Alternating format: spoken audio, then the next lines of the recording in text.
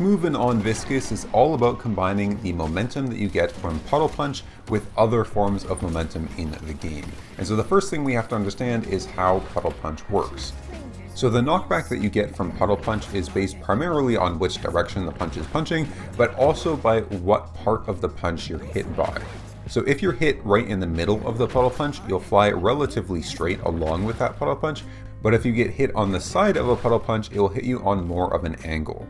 So, since schmoovin' around is all about using this momentum of the punch, if you're wanting to go in the direction of the punch, you want to hit yourself in the middle, and if you're trying to go perpendicular to the direction of the punch, you want to hit yourself on the side of the punch. I'm not really going to touch on this more, but just keep it in mind for the rest of the tech in this video. Okay, starting this off with the strongest tech for movement on Viscous, it is the wall roll punch. I don't really have names for these, but it's this thing. So this one is, in my opinion, the strongest because you just go flying. All you need is a wall and some open space behind you, and you can punch yourself just miles away at Mach 10. Luckily, it's also really easy to execute. The easiest thing to do is just to look at the wall, punch, and then immediately roll backwards. And then once you're flying, then you can sort of turn around 180 to see where you're looking at, but it's easy to just not even think about turning around until you've already launched yourself. So punch off the wall, roll backwards, and then turn around. This gives you an absolute ton of momentum, so chaining it with things like double jumps and slides and all of that is going to be extremely effective. And especially if you have a little bit of height like you're going downhill, it becomes even more effective. The biggest challenge with this one is in an actual game, it's kind of hard to find spaces where it's going to be effective because you do need some open space. You don't just face plant into something behind you. Uh, but some really good ones that I found are whenever you're sieging a walker, it usually is like a perfect place. You usually have a nice open lane going downhill. You can just yeet yourself all the way across the lane. In a similar vein, we have the wall punch dash. It's extremely similar to our roll, but you're just using an air dash instead of a roll. I wasn't sure whether to include this, but thought I might. It's basically strictly worse in every way than the roll. So the only time you'd actually use this is when you can't actually get to the ground to roll, like you're falling or something and you need to puddle punch yourself out like at that exact moment. You do get a little bit more momentum if you use a dash, but it's much better just to roll if you can. Next, we have the simple roll puddle punch. This is definitely the most common one you're going to use in games because it just basically gives you an extra little momentum boost on rolling. Quite similar, honestly, to just a simple dash or roll jump that you use on any other character, except you use a punch to launch yourself instead of that jump. So the benefit it has is it allows you to keep your stamina and double jump available while still getting that sort of momentum you would normally get from a roll jump. In terms of execution, it's not too hard once you get used to it. You basically just place the punch down right in front of you so that like the edge of the hitbox is basically at your feet and then you cast it and roll into it.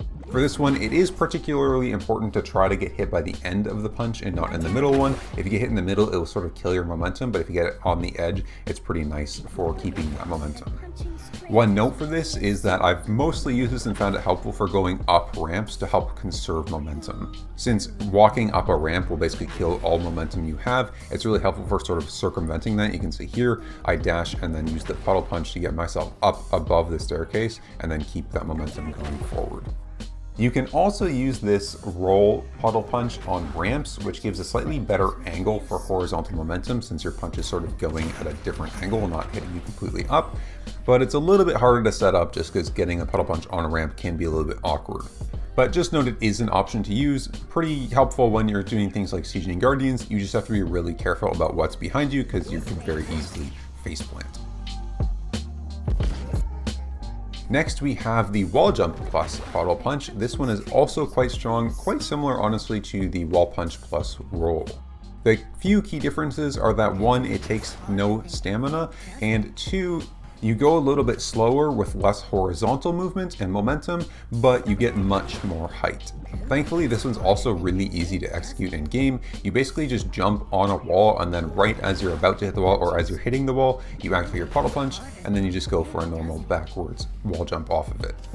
Now, obviously the potential for this is super strong in a real game, but it needs to be sort of labbed out specific spots to use it and it's a little bit harder to do in the moment. Probably the most helpful thing to do with it is this, where you have two buildings across from each other. You can wall jump, punch yourself up from one to the other one. I don't know any great spots on the real map, but I'm sure there are if you want to lab it out. Also, if you have two buildings next to each other, you can also chain these together uh, like this and just keep going and getting super high really fast. Speaking of wanting to get height from a puddle punch, if you just want height, like you're beside a building and you want to get to the top of it, the best way to do it is to jump, then cast puddle punch right under yourself, and then immediately double jump. It will combine the momentum of the puddle punch and your double jump, and you can get pretty high, basically on top of most buildings really easily. Next we have the Zipline plus Puddle Punch, another one I don't really use in real games, uh, but it's pretty slick and uh, could probably be quite strong in very specific situations. This is pretty simple, but quite hard to execute well. You basically just dismount the zip line and then punch yourself as you're about to hit the ground to sort of conserve that momentum and go even further. The timing and positioning on this is quite difficult because you basically need to hit yourself on the edge of the puddle punch. Even a slightly different placement will mess with the momentum quite significantly, so you do need to have pretty precise placement. One thing to note with this one is just make sure that you're dismounting the zipline with crouch to preserve the most momentum. There are also these jump pad things on the map. I thought I'd throw this one in even if I don't particularly use it or think it's all that helpful. I'm sure there's some specific situations where it's helpful, but basically if you just puddle punch yourself right as you're getting hit by it, you will add some more momentum to that and go farther than it's originally intended to. In terms of items, there's only one item that really gives you any momentum, which is Majestic Leap, and it can be comboed with Puddle Punch, although the timing is incredibly slim. So you have to activate the Puddle Punch and then Majestic Leap right before it knocks you up. If you do it even a little bit too early or a little bit too late, it just won't work. But if you do get the timing right, you just go absolutely flying.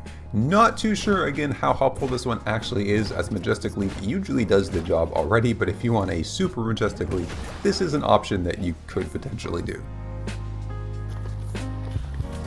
Last but not least, we have using Puddle Punch for extra mobility when you are in your ball form in your ultimate. Now, just a note, you do need to have your ball form maxed out so you can actually use your Puddle Punch during it, but there are some helpful ways to use it to get a little bit more mobility.